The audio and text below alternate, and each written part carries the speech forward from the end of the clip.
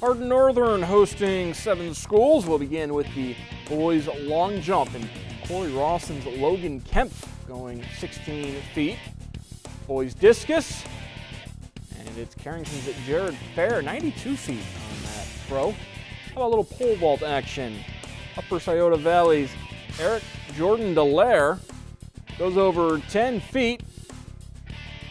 And then in the high jump, Arlington's Lauren Willow clearing five feet, one of three to clear five feet. Finally, back to the throwers, shot put, Leipsic's Grace Regal. 35 foot throw here.